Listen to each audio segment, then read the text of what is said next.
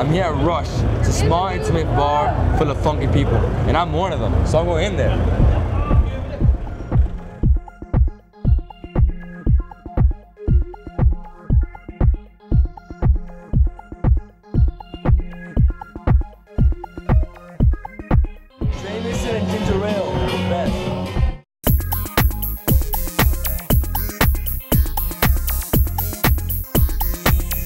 This is Rush.